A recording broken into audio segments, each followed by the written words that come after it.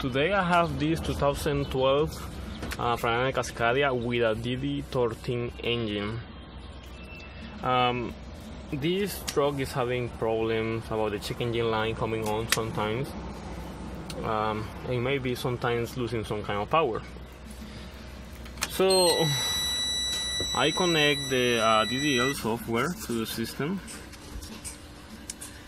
and I go to the fault codes and the only code that has been active is this one. Says low air flow this is the code number. You can see 2631 1 um so it's been active to, uh, today is the 23 so so we have the troubleshooting here uh, it says all the stuff then uh, set uh, this code and uh, what is going on and, and the derate you see is 25% of derate that's right is losing some power. So the troubleshooting says is to check uh, for leaks on the wastegate uh, turbo intake turbo outlet um, the sensor chair leaks or from a function of the sensor. Check for the EGR delta pressure sensor you can see there uh, and check uh, the pipe of the EGR and check the DOC for pressure excessive pressure. So to check the pressure from the intake manifold all you have to do is to run the engine and get some spray and spray around the hoses over here and both sides. I already did that and uh, this truck is not leaking any uh, air from these hoses or any area in the intake manifold or the turbocharger area. Um, so the next thing I'm going to do is to check the EGR delta pressure sensor. So to check that I'm gonna go to uh, instrumentation here. And then I'm gonna go to EGR and we have the EGR we have the reading right there. It's a normal reading. There is nothing bad with that reading. It's normal uh, the reading to be up and down when the engine is off. So now I'm going to start the engine. So with the engine running I can see the EGR valve is getting active and it's active. But meanwhile the EGR is closed. I can see that the EGR delta pressure sensor is up. As you can see it's about it's close to one uh, psi which is bad that means there is some kind of leak in the EGR uh, the area. So uh, now I can see that there is a problem on the EGR area. So what I'm gonna do first is uh, replace the delta pressure sensor um, and I'm gonna inspect the pores of the uh, EGR the pressure sensor um, I'm gonna clean them to see what happened after replacing the delta pressure sensor because the first thing you gotta do is replace the delta pressure sensor because sometimes the delta uh, pressure sensor goes bad. So that's what I'm gonna do. So the delta pressure sensor is this one right here. Uh, so what I'm gonna do is to take this plug out. I'm going to remove these bolts. These are 10 millimeter bolts. I'm gonna remove both of them and then I'm gonna remove the delta pressure sensor after removing the delta pressure sensor, I can see there are some dirt around the uh, delta pressure sensor ports. So what I'm gonna do is to get a small piece of metal to insert it here in this orifice to clean the ports because there could be uh, stuff inside the delta pressure sensor blocking the flow or uh, making then the flow uh, stays high something can uh, something is going on there. So what I'm gonna do is clean it and replace the delta pressure sensor because the delta pressure sensor is here. Uh, you can see it has kind of like some uh, damage I mean like stuff. It's really hard to focus here. Yeah you can see a lot of carbon here. Uh, it looks like there is some watermarks but very small marks. So here is the delta pressure sensor, here is the part number.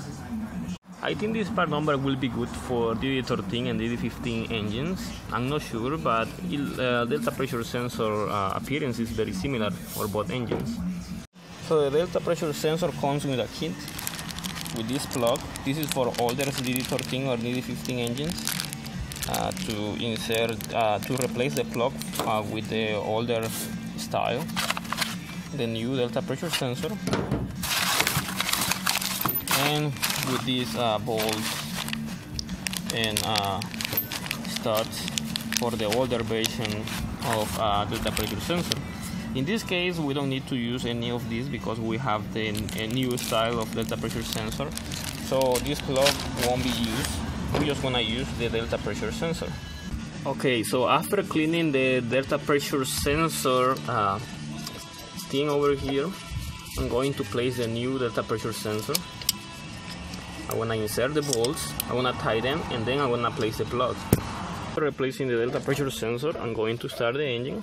And as you can see, the reading is still the same. 8, 5 going up and down. That means there's something wrong with the EGR valve. Or there is something in between the tubes of the EGR, uh, um, EGR delta pressure sensor um, tubes. There is something wrong but uh, I think there is something bad with the EGR so I'm going to uh, check the EGR I mean the functionality. I wanna see. Okay so the EGR on the DD13 engine is located in the turbo area. Uh, the EGR valve in this case that's what I'm gonna check no the EGR actuator it will be the EGR valve so I'm going to remove this cover here using the uh, 13 millimeter uh, socket to remove these bolts the EGR valve is this one over here. Uh, this is the EGR valve on the DD13 engine. So the EGR valve is the entire exhaust manifold is connected to the exhaust manifold. So there is no way you can replace the EGR valve without removing the exhaust manifold. So you have to remove the entire exhaust manifold to replace the EGR valve, which gonna be, a, uh, be really expensive. So what I'm gonna do in this case before doing anything else is check the EGR linkage for movement. As you can see it moves. It's not hard and uh, it doesn't get uh, stuck. So that's all I'm gonna check at this moment because uh, it could be that the EGR is uh, stuck but uh, in this case the EGR is working with no problems. So um, I'm going to uh, check other stuff because the EGR valve looks in a good condition so that means then uh, then uh, everything in here is okay. So what I'm gonna do now is go to the EGR delta pressure sensor pipe which is this one here. This is the pipe that connects to the EGR delta pressure sensor. I'm going to remove this mixer pipe. This is the one that goes to the intake manifold right here. So I'm gonna remove the mixer pipe completely using a 13 millimeter socket for these four bolts. There is three on this side. And I'm going to remove these clamps and the hose. And I'm going to inspect the interior of the EGR uh, sensor pipe. Uh, it could be stuff on it. So it's very important to physically inspect that before doing anything else. After removing all the bolts and the clamps all I have to do is to pull this pipe up like this. With the pipe out uh, what I'm gonna do is to check this uh, area this venturi uh, for any cracks any bends because in some occasions this can be broken and this can cause overpressure on the D, uh, on the EGR uh, delta pressure sensor. So in this case this one looks in a good condition. Uh, now I just gonna look here for the flow. Everything looks okay. I don't see any problems on the pipe. So I just gonna insert something to see if this one goes all the way to here just to be sure so everything looks in a good condition with this pipe so that means that this pipe is in a perfect condition. There is nothing wrong with it. So the next step I'm going to do is to check the EGR delta pressure sensor pipe this tube. I'm going to uh, check the interior. And as you can see there is a big chunk of carbon there. Can you see it yeah that's a really big amount of carbon stuck on the uh, EGR delta pressure tube. So I think we found the cause why this uh, engine is having uh, high EGR delta pressure uh, reading. Uh, so what I'm gonna do is to unplug that sensor. And I'm going to remove this ball over here and there is another ball over there that one over there is really hard to see it but it's over there this one over here. So I can remove the entire delta pressures uh, sensor pipe out and clean it outside. Okay the pipe is out. Now we can clearly see the stuff the carbon inside the uh, the EGR delta pressure sensor pipe. See is completely blocked is a lot of carbon in this uh, pipe. So what I'm gonna do is to clean that. Um, I'm going to remove the delta pressure sensor too and I'm gonna clean the orifice again to make sure that everything is clean. Okay uh, uh, here I have all the stuff that I removed from the interior of the uh, delta pressure sensor pipe you can see it's a lot of carbon. I can see some water marks over here so uh, the EGR cooler will mm, uh, need to be serviced soon. Uh, but anyway um, so I already cleaned the ports again. So the tube is completely clean. Now I can see through as you can see um, so now I'm going to place the uh, delta pressure sensor back on, on, the same position. And I'm going to get new hose a new gasket and a new seal for, for the EGR pipe mixer the one that goes to the intake manifold. Okay so I have the new hose over here. This is the part number. This is similar to DD15 and DD13 engines the clamps, the seal for the pipe over here, and the gasket for the EGR tube over here. So I'm gonna I'm gonna install everything together on the engine. And now when I check the EGR delta pressure sensor reading, as you can see now is less than one point psi, like 0.0. That's normal. That's a good reading because the EGR valve is nearly open.